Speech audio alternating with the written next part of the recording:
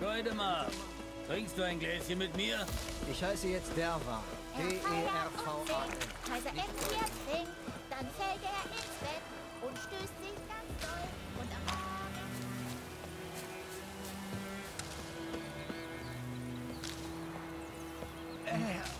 Morgen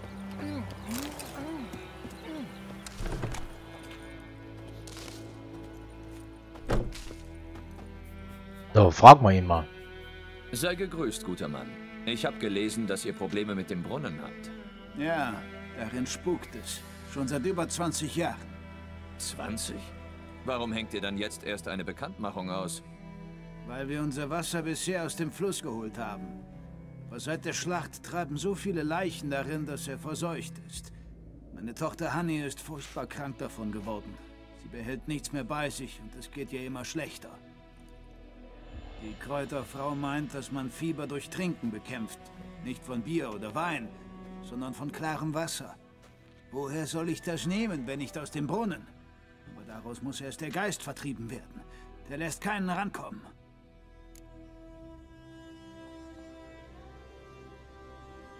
Dieser Geist, beschreibe ihn mir. Tja, er ist furchterregend. Schrecklich. Ich meinte, wie sieht er aus? Er sieht aus wie eine Frau. Direkt aus dem Grab. Mit einem schmutzigen Kleid, lauter Lumpen. Die Haut hängt von den Knochen und sie heult, als ob sie leiden würde. Eine Erscheinung. Oder vielleicht ein Alp. Wenn du sie nicht verjagst, Meister, wenn du nichts tust, bringt sie meine Tochter um.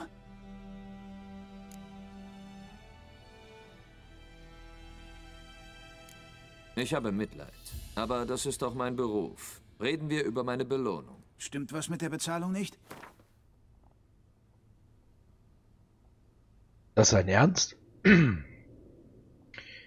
Ja, komm, ein paar Kronen sind doch noch mit drin. Machen wir 25, oder? Wenn du mit dem Preis runtergehst, können wir uns einig werden. Wenn du mit dem Preis runtergehst, können wir uns einig werden. Ey, echt jetzt? Wenn du mit dem Preis runtergehst, können wir uns einig werden. Gut, dann ist das geklärt. Nur zwei Bonus. Gut, ich helfe. Wo ist dieser Brunnen? In Hüttel. Das ist ein Dorf auf den Höhenzügen. Jetzt ist es Alter verlassen. Niemand traut sich hin, weil der Geist da ist. Bitte, verscheuche ihn. Ja, ja, kriegen wir schon hin.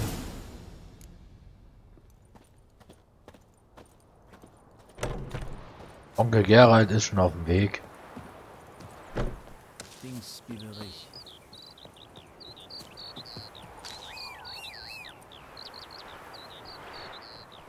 Das wär's jetzt gewesen, wenn du an den Zaun hängen geblieben wärst.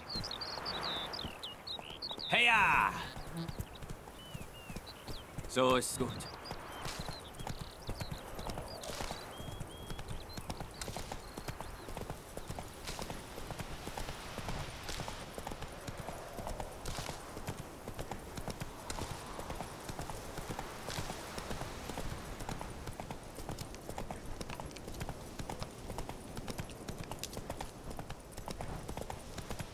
Ja, dadurch, dass die Kräuter halt nichts wiegen.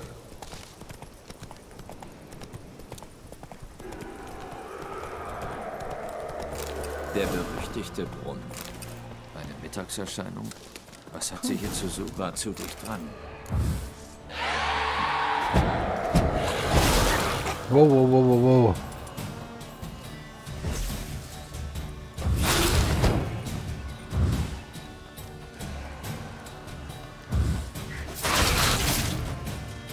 Sie ist geflohen. Aber morgen kommt sie wieder. Etwas hält sie hier.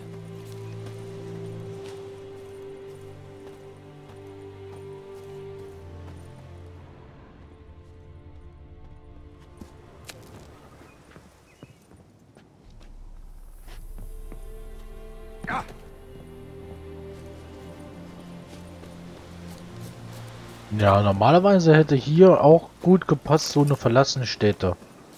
Das heißt, wenn du, wenn du hier ausgeräuchert hättest. Mein Tagebuch könnte hilfreich sein. Gott.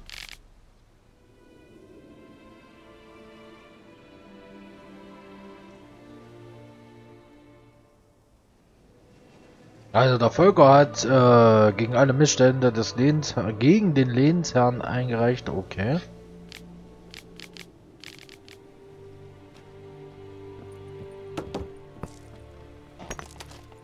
Ja, das war wo ihr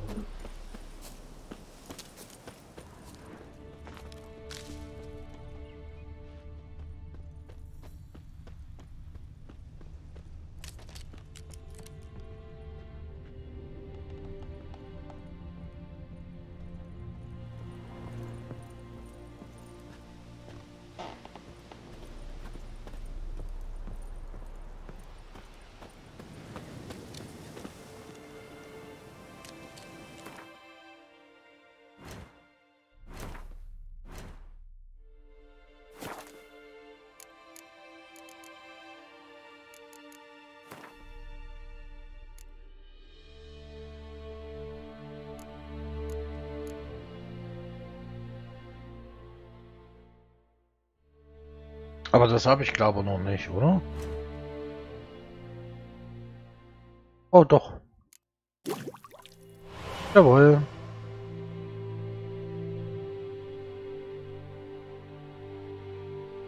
Die Mittagserscheinung ist an diesen Ort gebunden, durch einen Gegenstand. Etwas, das sie braucht, bevor sie diese Welt verlässt.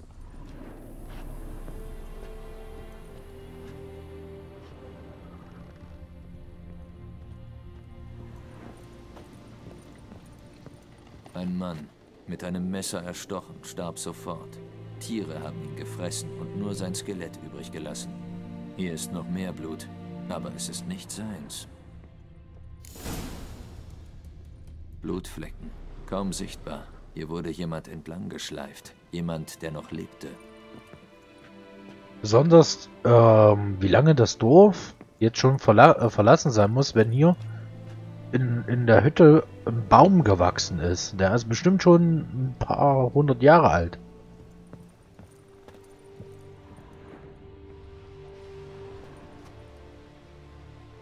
Blutige Handabdrücke, kleine Hände, die einer Frau. Jemand hat sie rausgeschleift. Sie war verwundet, hat um ihr Leben gekämpft.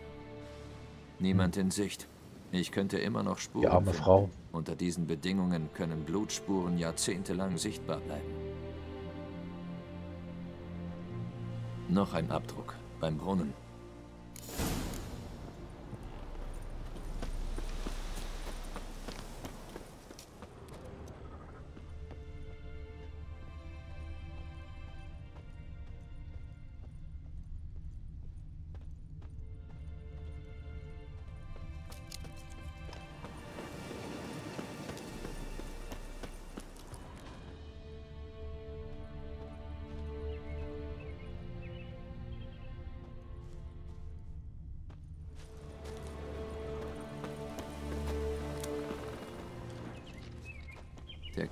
Ist verdorrt. Brandspuren. Das war die Mittagserscheinung.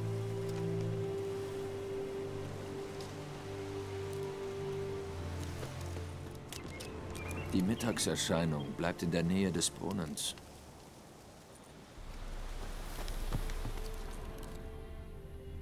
Blutspuren, fast verblichen, aber das Seil ist gerissen. Hier stimmt was nicht. Eine Leiche hängt am Ziehseil. Die Frau, der das Tagebuch gehört. Das muss sie sein. Oh, echt die Arme. Breites Becken, schmaler Kiefer, eine Frau. Rund 30, nach den Zähnen zu urteilen. Der linke Arm fehlt. Die Überreste müssen verbrannt werden. Ich brauche aber das Objekt, das sie an diesen Ort bindet. Hat sie das Armband von ihrem Mann getragen? Ist ihr der Arm deshalb abgefallen? Ich muss da runterspringen. Hoffentlich breche ich mir nicht die Beine.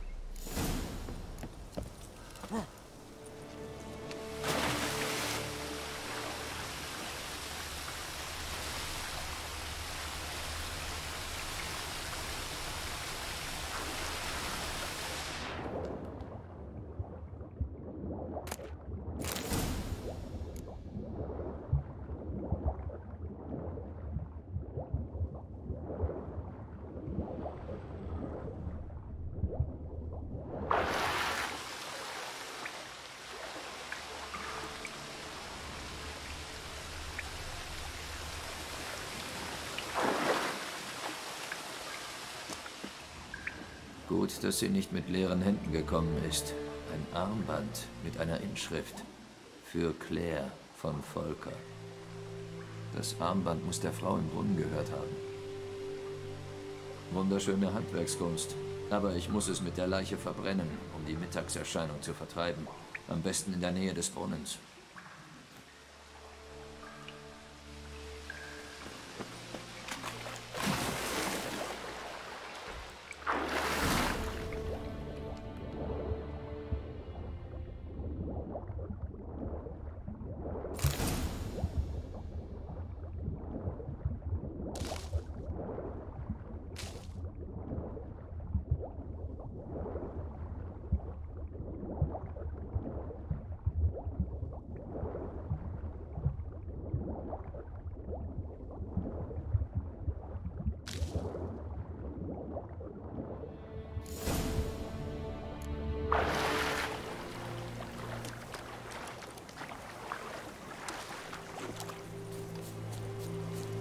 Muss mich auf diesen Kampf vorbereiten.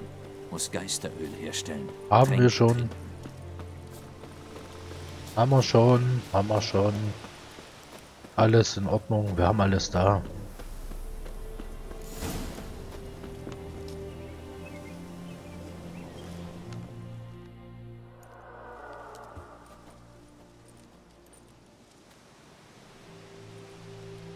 Und das Armband. Igni.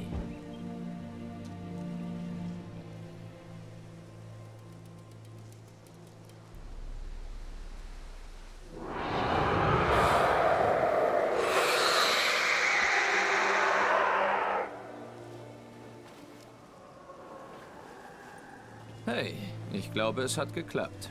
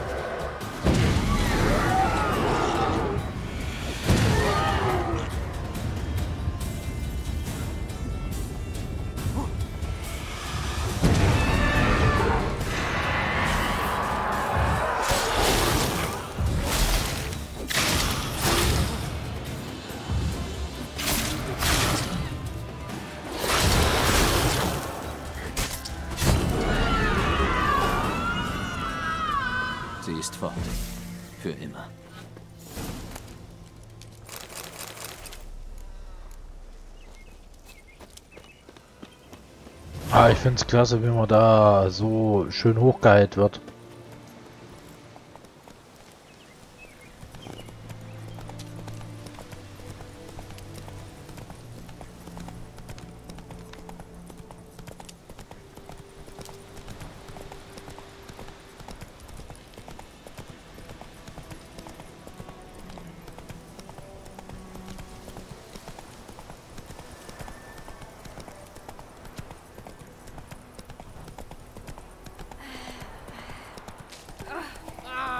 Pass auf, wo du hintrittst. Äh, ich trete ähm, gerade nirgendwo hin. Mein Pferd, was der Straße folgt. Ihrem Weg rumlatscht, habt Pech gehabt. Auftrag erledigt. Beim Brunnen ging der Geist einer Frau um, die dort getötet wurde. Ich habe ihn vertrieben. Hoffentlich setzt uns jetzt nicht jeder Unbegrabene zu. Sonst macht uns das Schlachtfeld einen riesen Ärger. Wenn doch, wisst ihr, wen ihr rufen müsst. Übrigens, Claire, Volker. Klingelt da was? Die kenne ich nicht. Aber ich habe gehört, wie unsere Kräuterfrau Tomira eine Claire erwähnt hat. Vielleicht ist es dieselbe. Dein Lohnmeister, Hexer. Das Gold für Hannis Aussteuer. Ohne dich hätte sie ihre Hochzeit nicht erlebt. Jetzt gibt es da immerhin Hoffnung.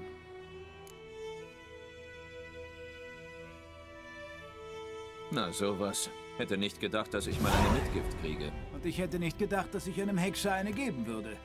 Seltsame Zeiten, nicht wahr? Seltsam und traurig. Jawohl.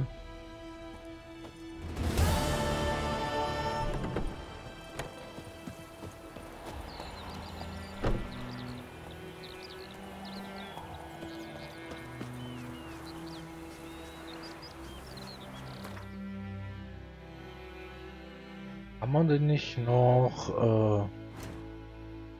Äh, ja, ja.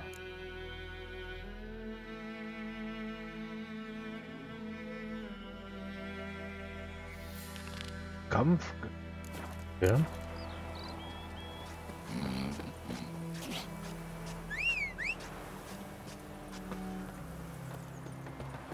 Ernsthaft, Blötze? Ernsthaft?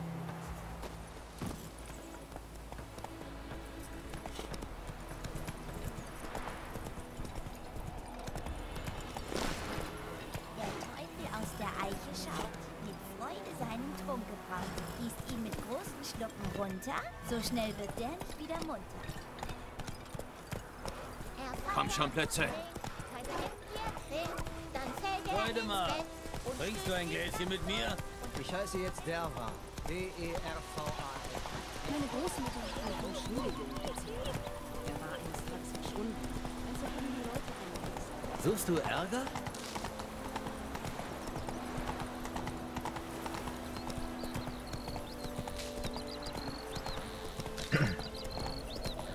So, auf geht's zur nächsten Mission.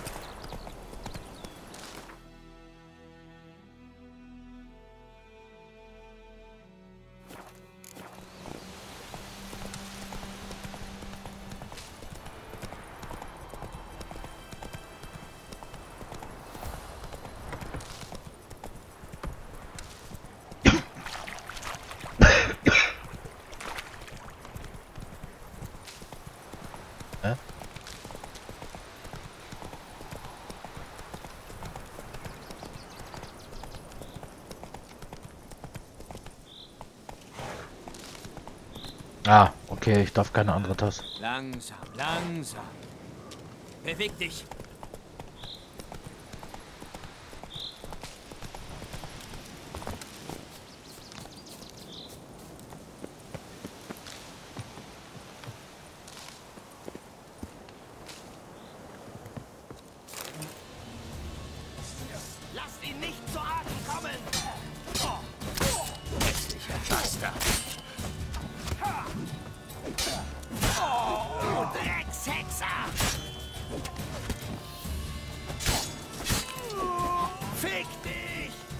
Na, na. Keine ungestümen Wörter hier.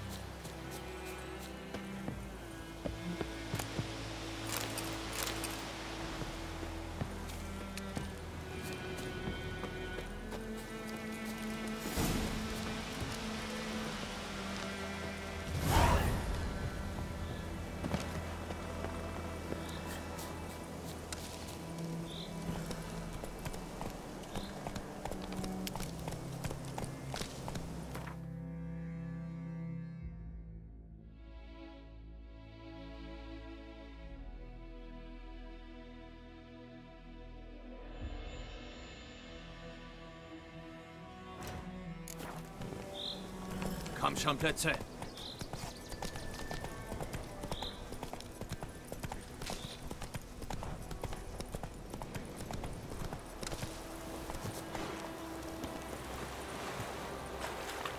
So, das muss ja unter der Brücke liegen.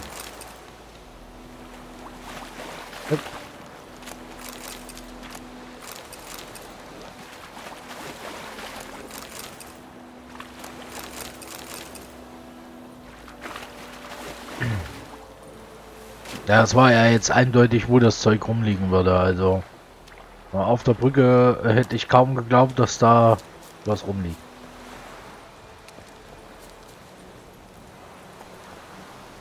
Ja, dann war dann hier noch eins im Wald, oder? Ja.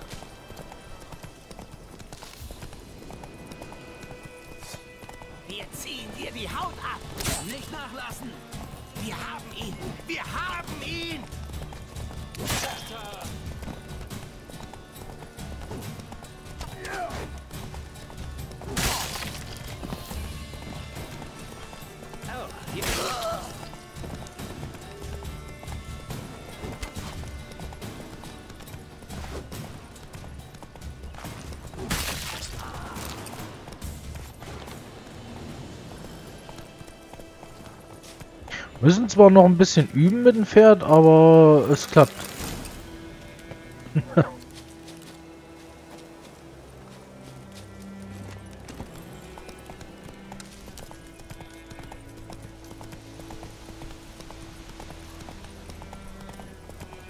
ja, ich muss sagen, es klappt auf jeden Fall.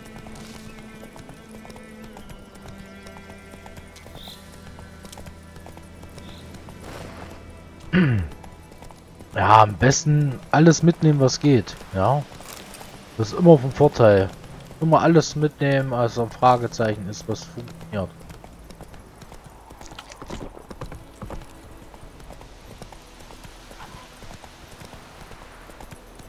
Ja, das nicht unbedingt, weil da ist nichts. Aber hier zum Beispiel.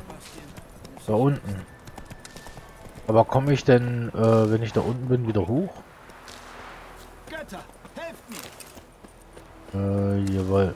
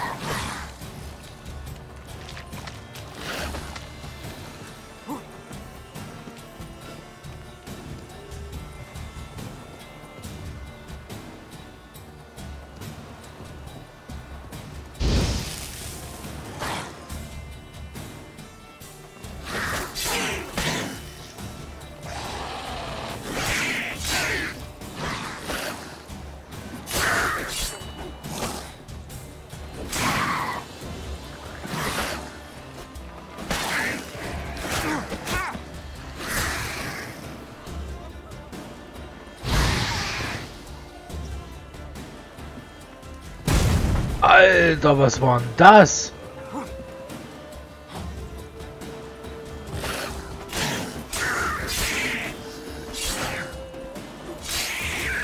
Ich hab echt so ein Fass erwischt. Echt? Echt? Das ist nicht euer Ernst.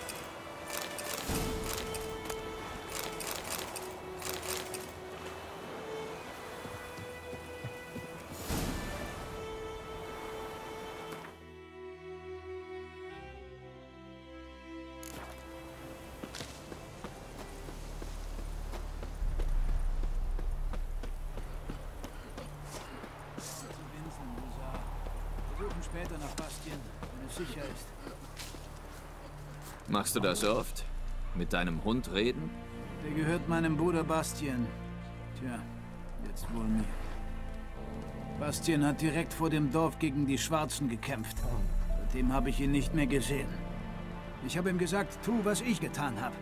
Ein, zwei Finger ab, damit sie dich nicht einziehen. Aber er hatte zu viel Angst. Verdammter Mist.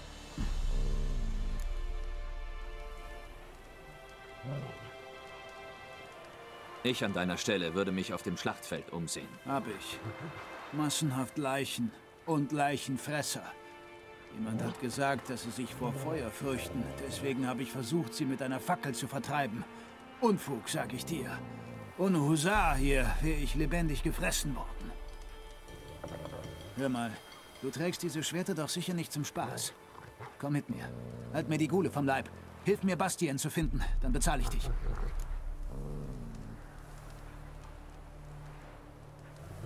Gut, ich helfe dir. Allerdings liegt die Schlacht schon ein paar Tage zurück.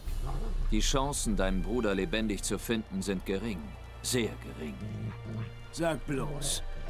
Aber ich will wenigstens seine Leiche finden, damit Bastien da nicht mit den Schwarzen in der Sonne verwest. Treffen wir uns auf den Hügeln vor dem Schlachtfeld. Dann gehen wir zusammen weiter.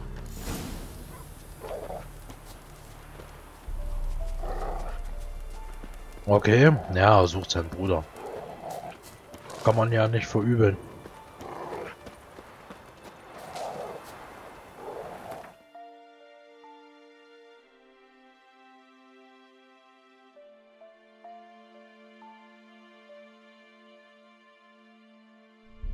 Werde ich jetzt hier oben noch mal einen Abstecher machen.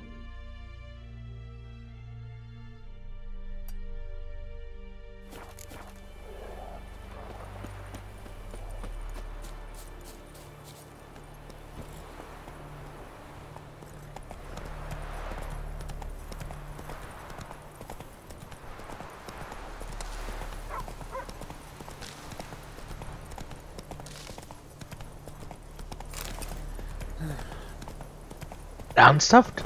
Ernsthaft jetzt?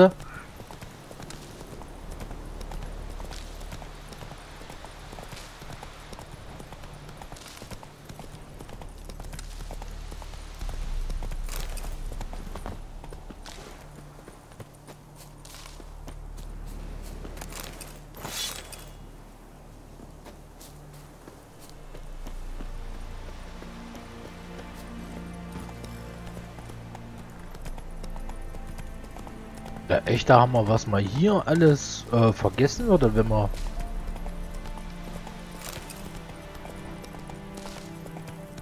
Ich meine jetzt nur allein von den Pflanzen her, was wir hier einsammeln. Also ich finde das Autoloot nicht schlecht. Ich werde es auch drinnen lassen. Gut, ich weiß jetzt nicht, ob die Bildeinblendung äh, störend ist, aber das muss man dann erstmal absehen. Ähm, wie gesagt, also ich werde es aber auf definitiv drinnen lassen. Ich meine, ich habe es jetzt nicht auf äh, 30 Meter Umkreis gestellt und alles.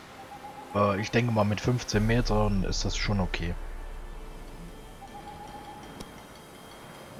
So. Kurz vorm Schlachtfeld. Ja, ja.